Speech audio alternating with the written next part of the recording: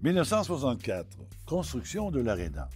En janvier 1964, les gens de Tetford Mines n'en croient pas leurs yeux lorsqu'ils voient les arches du futur Arena s'élever sur les piliers de ciment, ceux-ci ayant été construits longtemps avant. Cela faisait plusieurs années que des citoyens réclamaient une patinoire couverte, alors que d'autres s'y opposaient fermement.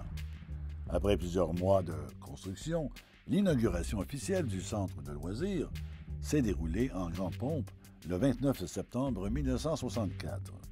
Les compagnies minières ayant payé une partie des frais, c'est au président de l'Asbestos Corporation, M. Alfred Lloyd Penhale, que revient l'honneur de couper le ruban inaugural conjointement avec le maire Marie-Louis Trépanier. Après la bénédiction effectuée par l'abbé Edwin Doyle, curé de Saint-Maurice, l'Atlas de l'Arena est inauguré par les Canadiens de Montréal. D'ailleurs, le président des Canadiens, le sénateur John David Molson, ainsi que l'entraîneur de l'équipe, Tobe Lake, figurent parmi les invités.